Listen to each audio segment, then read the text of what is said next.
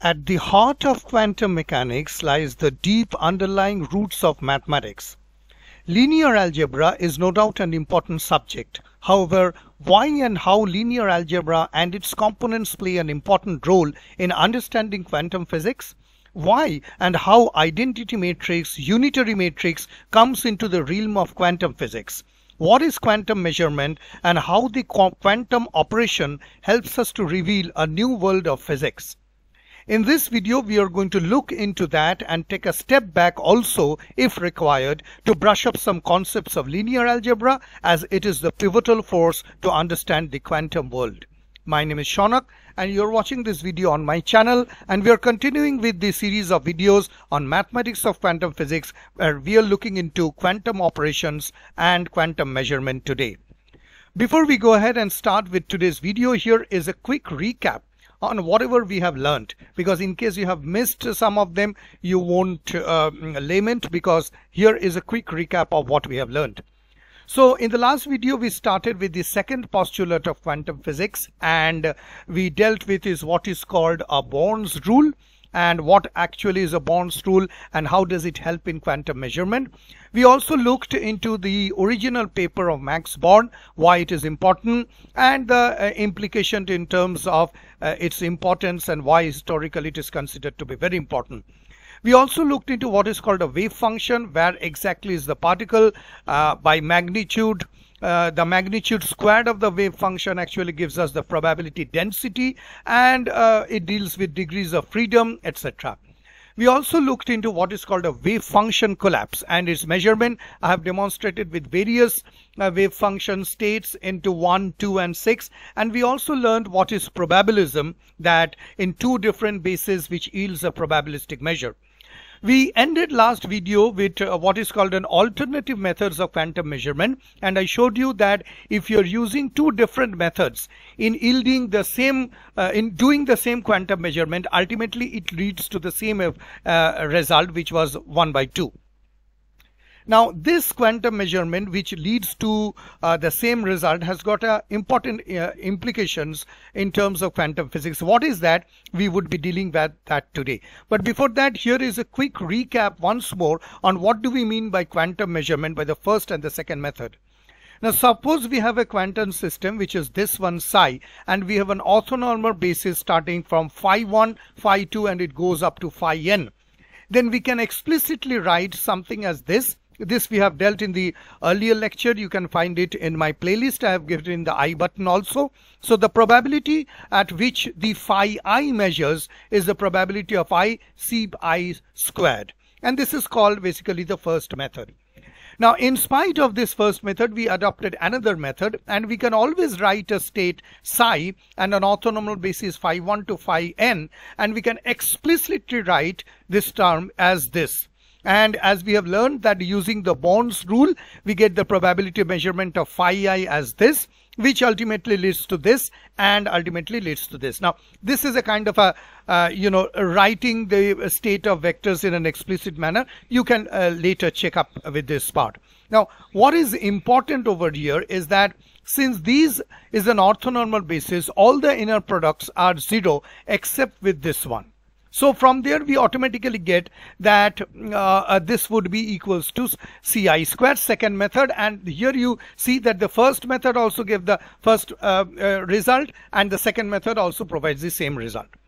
Now why it is important what I'm trying to tell is that it suggests that if the results are same then uh, the underlying physics is absolutely correct. And what it also tells is that it, if the predicted probabilities from both calculations match with the experimental results, that means it provides a strong evidence for the accuracy of your approach. That means because both of them gives the same result, which was half, you can look into the first video. So it gives you actually the same result. Now, I want to demonstrate it with a very, very simple example. I mean to say how this method actually leads to the same result. I want to demonstrate that.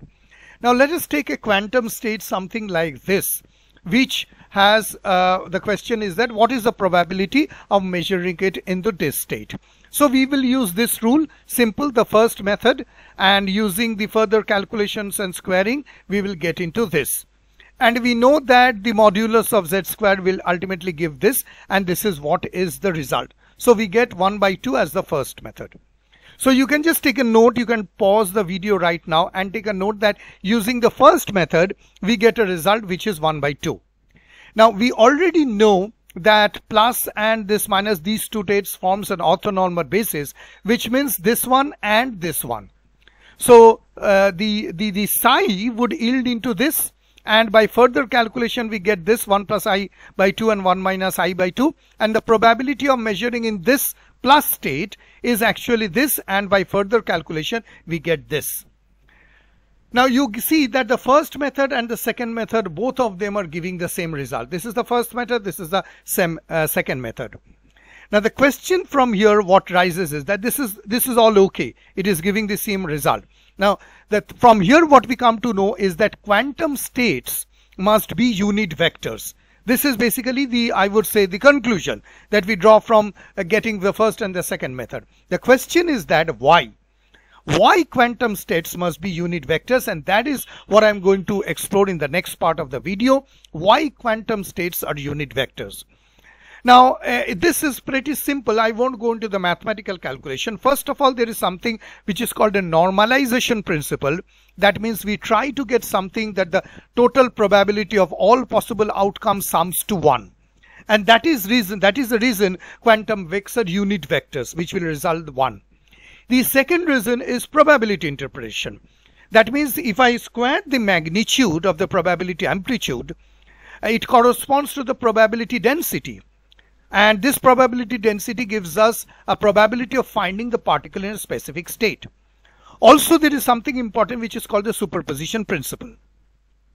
And what does it say? It says that normalized state vectors ensure that the coefficient in this combination present probability amplitudes obviously and it's maintained the integrity of probabilities.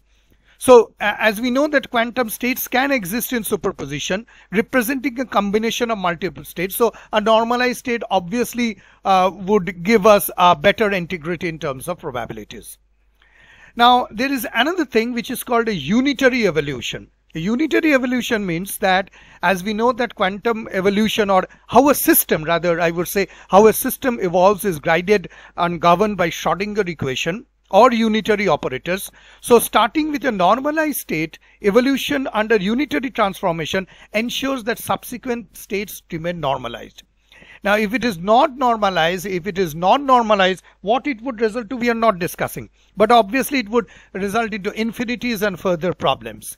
And finally, retaining the physical state, which we are going to see now, is that all vectors are always not pointing in the same direction. So multiplying state vector by constant value which is 1 does not change the physical state. It's a kind of a, you can say it is a kind of a tensor kind of a concept where we know that it won't change and uh, multiplying by the value of 1 will give the same nature of the state. So obviously the mathematics, the physics and the entire uh, game becomes quite important.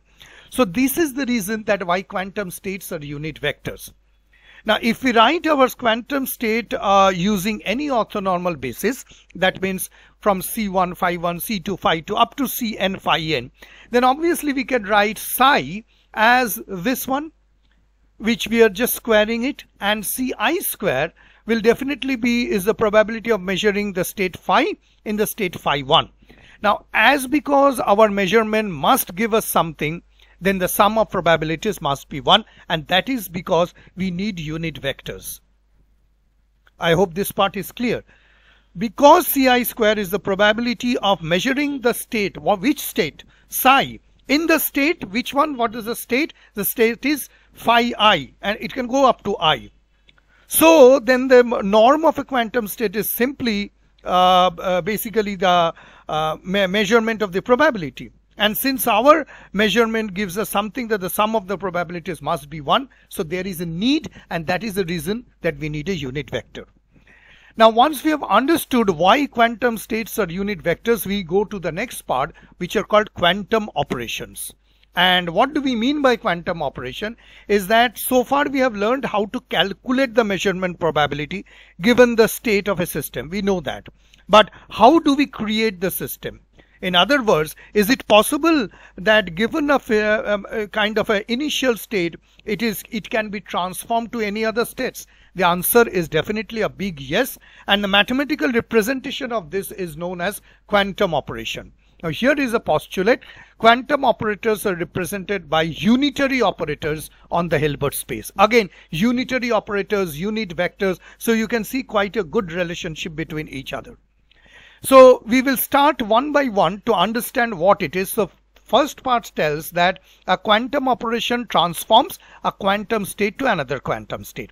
From there, it leads that the norm of the vector is preserved. Obviously, otherwise, how do we do the measurement? Then we come to this conclusion that the mathematical representation of any quantum operation therefore can be represented by unitary matrix. Why? Because the postulate itself says that quantum op operations are represented by unitary operators on the Hilbert space.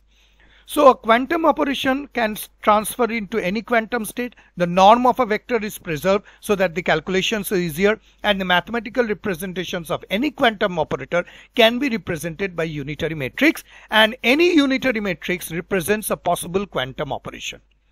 This is the, I mean to say, this is the chain, this is the sequence. Now, because we are dealing with lot of unitary and identity matrix, the question is that we will, we will just go back, as I have told in the beginning of the video, just to make a quick brush up on what is the identity matrix and what is a unitary matrix. So in linear algebra, uh, the identity matrix, if I consider to be a size of n, is the n times n square matrix with ones on the main diagonal and zero everywhere.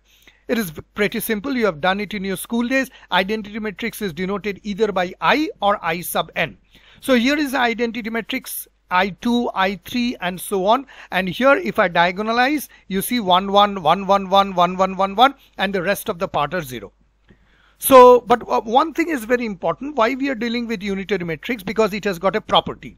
And the property is that when the identity matrix represents a geometric transformation, again the object remains unchanged by the transformation. And because it remains unchanged, the quantum operations obviously becomes easier because we retain the vector which we have just seen in few minutes earlier in the video.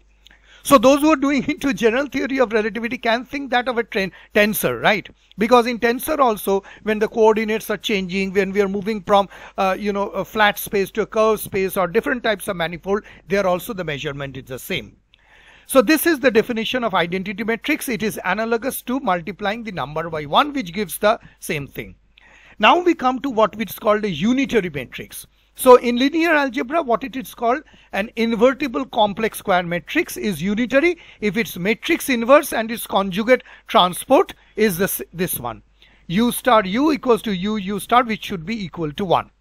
So in, in, in, quantum physics, the conjugate transpose is referred to as the Hermitian adjoint of a matrix. If you can go back to my uh, channel Physics for Students, I have made a very good video on this Hermitian matrix and other things you can look into it. And it is denoted not always by a star by a dagger. So the equation can be written as this.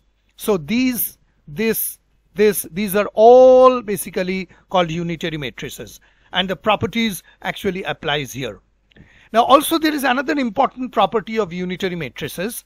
And it says that if the same matrix u is applied to two vectors v1 and v2 so if I'm applying the um, unitary matrix U on a vector V1 and V2, it means W1 equals to U times V1 will be equal and W times U2, U times V2 will be equal to this one. And if I go, I have not shown the calculation, it will be equals to V1 dot V2.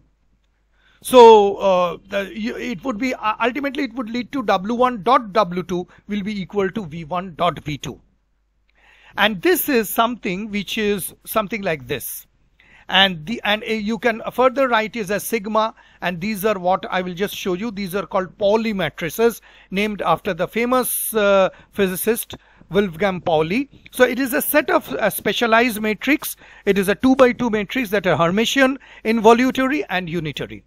So on the top XYZ, these are all, um, uh, you know, Pauli matrices, but uh, to be uh, stricter on the mathematical language, it is not written as xyz, it is written as sigma. Now there is another quantum operation which is called uh, Adamar uh, or Hadamard matrix and this looks like this. It is called Hadamard matrix and it is named after the famous French physicist Jacques Salomon Hadamard, who was a French mathematician and did a major contributor in terms of complex analysis, etc. Now, this Hadamard matrix, the Pauli matrices, these are all quantum operation. Now, let us see an example that can we uh, can we uh, you know perform or do this operation with the state x on state 1 z on x on the state plus and h on state 1 so uh, nothing to worry about what we will do is that we are just going to do the calculations by multiplying the matrices so here you see uh, now how this quantum state represents 0 1 and 1 0 i hope you know. If you don't then you can put it up in the comment box. I will make a separate video on this. And this would lead to this. Again z because it has got plus it has got a quantum state of this and it would lead to this. And this is applied to this. Now you can also apply the Hadamard matrix on 1 plus and minus. And I will show you how this is. And I will show you in the next video. So that's all for today's video. I just showed you uh, what are actually quantum operations, the meaning that it would result to the same, and most importantly, why quantum uh, states are unit vectors. And now you can understand that by multiplying by 1, etc., how it helps to maintain the same physical understanding and the same physical measurement. That's all for today's video. So I would immensely thank you for watching and taking up time to watch this video. If you have liked this video, please click on the subscribe button and click on the bell icon to get all the notification from Physics for Students. You can always contact me at this email ID and this is my other channel on general theory of relativity you can subscribe and if you want you can follow me on my facebook linkedin instagram and twitter account physics for students will be soon back with more interesting and fun filled videos but till then, goodbye.